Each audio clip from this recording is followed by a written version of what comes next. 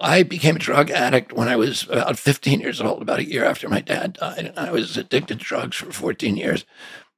During that time, when you're an addict, you're living against conscience. And when you're living, and I never, you know, I, I, was always trying to get off of drugs, never able to, but I never uh, felt good about what I was doing. And um, and when you're living against conscience, you kind of push God to the per- peripheries of your life. So uh, I'll call me he, get recedes and gets smaller. Um, and then when I um, when I got sober, I knew that I had a couple of experiences. One is that I had a, a friend of my brother's, one of my brothers who died of this disease of addiction. Um, had a good friend who had used to take drugs with us, and he became a Moonie. So he he became a follower of Reverend Sun Myung Moon, and he at that point his compulsion he had the same kind of compulsion that I had, and yet it was completely removed from him. And so, and he used to come and hang out with us, but he would not want to take drugs, even if I was taking them right in front of him. He was uh, he was immune to it. He'd become impervious to that uh, impulse. And um, I, when I was in the, when I first got sober, I was I knew that I did not want to be the kind of person who was, you know, waking up every day and white knuckling sobriety and just, you know, trying to resist, resist through willpower. And by the way, I had um, I had iron willpower as a kid. I gave up candy for Lent when I was 12, and I didn't eat it again until I was in college. I gave up um, I gave up desserts the next year for Lent, and I didn't ever eat another dessert till I was in college, and I was trying to bulk up for rugby and for sports. So um, I felt like I could do anything with my willpower, but somehow this particular thing, you know, the, the addiction, was completely impervious to it and I, it was cunning, baffling, baffling, incomprehensible. I could not understand why I couldn't just say no and then never do it again, like I did with everything else. Um, and um, so I was living against conscience, and I and I, I thought about this guy, and I, you know, reflecting my own prejudices at that time in my life, I was I said to myself, I didn't want to be, I didn't want to be like a drug addict who was wanting a drug all the time and just not being able to do it. I wanted to completely realign my my myself so that I was somebody who got up every day and just didn't want to take drugs. Never thought of them, you know. I Kissed the wife and children and went to work and was never thought about drugs the whole day. And I knew that people throughout history had done that. You know, I'd read the lives of the saints. I knew St. Augustine had had a very, very dissolute youth and, and, you know, had the spiritual realignment transformation. I knew the same thing had happened to St. Paul, you know, at Damascus. The same thing had happened to St. Francis. St. Francis also had a, had a dissolute and fun-loving youth and, and had, you know, had this, this deep spiritual realignment. And I, I knew that that happened to people throughout history. And I thought that's what I needed, you know, something like that. I had the example of this friend of mine, and I used to think about him, and I would think this again reflects the, the bias and the, you know, probably the meanness of myself at that time. But I, I said I'd rather be dead than be a Moonie. But I wish I somehow could distill that power that he got without becoming a religious nuisance. And um, and at that time, I picked up a book um, by Carl Jung called Synchronicity. And Jung, he was a psychiatrist, he was contemporary of Freud's. He was a uh, Freud was his mentor, and and Freud wanted him to be his replacement, but Freud was an avowed atheist. And Jung was a deeply spiritual man. He had these very intense and genuine spiritual experiences from when he was a little boy, from when he was three years old, that he remembers. His biography is fascinating about him because he remembers them with such detail. And um, he uh, he was he had written. He was always he was interesting to me because he was a very faithful scientist, and I considered myself a science based person from when I was little.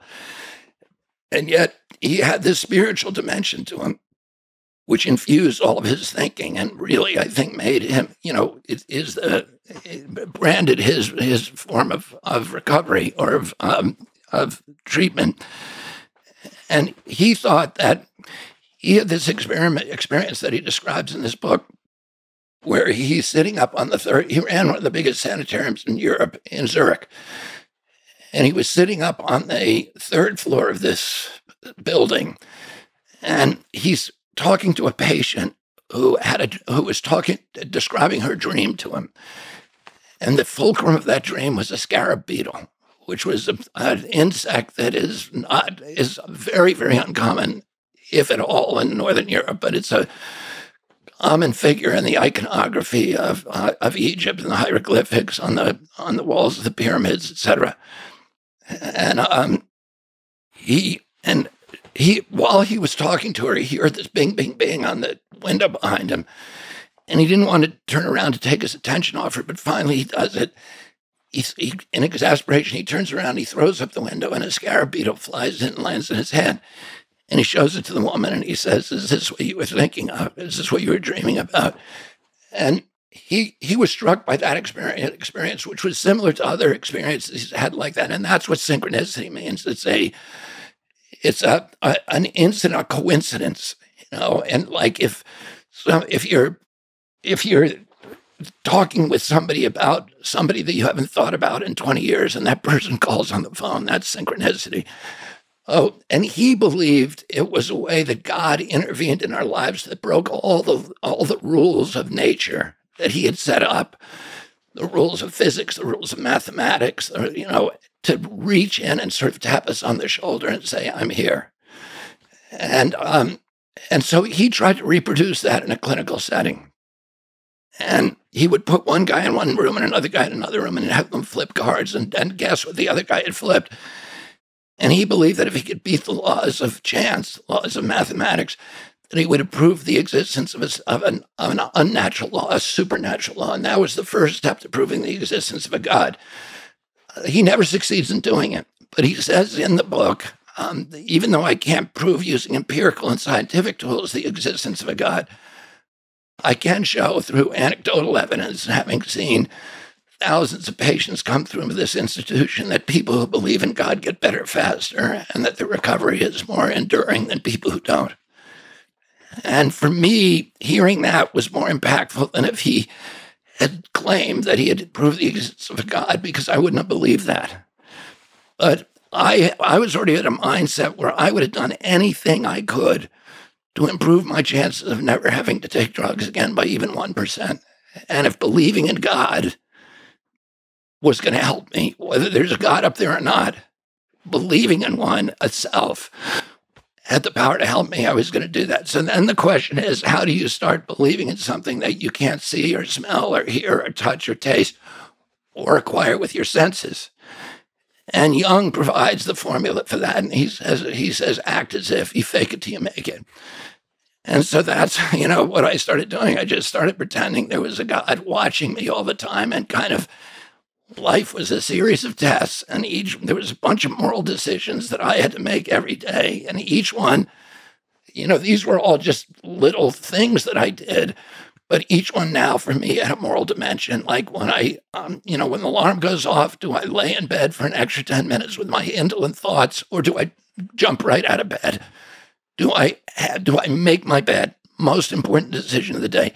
Do I hang up the towels? You know, do do I um do I when I go into the closet and pull out my blue jeans and a bunch of those wire hangers fall on the ground? Do I shut the door and say I'm too much? I'm too important to do that. That's somebody else's job or not? And so, uh, do I put the water in the ice tray before I put it in the freezer? Do I put the shopping cart back in the you know place that it's supposed to go in the parking lot of, of the Safeway. And if I make a whole bunch of those choices right, that um, I maintain myself in a posture of surrender, which keeps me open to the power of to my higher power, to my to my God. And when when I do those things right, um, when I you know so much about addiction is about abuse of power you know, abuse of all of us have some power, whether it's our, you know good looks or whether it's uh, you know connections or education or or family or whatever. And there's always a, tempt- a, temptation to use those to fill, fulfill self will. And the challenge is how do you use those always to serve instead God's will and you know the, the good of our community, and that uh, to me is kind of the struggle. And when I do that, I feel I feel God's power coming through me, and that I can do things. I'm much more effective as a human being. That that gnawing, you know, uh, anxiety that I lived with for so many years, and my God, that I it's gone, and that um, I can kind of like put down the oars and hoist the sail, and you know, and the wind takes me, and I can I can see the evidence of it in my life. And you know, the big thing for you know, the temptation for me is that um, when all these good things start happening in my life and the cash and prizes start flowing in, you know, how do I maintain that posture of surrender? How do I stay surrendered then when my inclination is to say to God, thanks God, I got it from here. yeah. And drive the car off the cliff again. And uh, so, you know, I had a spiritual awakening and my desire for drugs and alcohol was lifted miraculously. Uh, and it, to me, it was as much a miracle as if I had, if I'd been able to walk on water because I had tried everything earnestly, sincerely, and honestly for a, a, decade to try to stop, and I could not do it under my own power. And then all of a sudden, it was lifted effortlessly, and um, you know, so I saw that evidence, uh, early evidence of God in my life, and um, and of the power, and um, and I see it now, you know, every day of my life.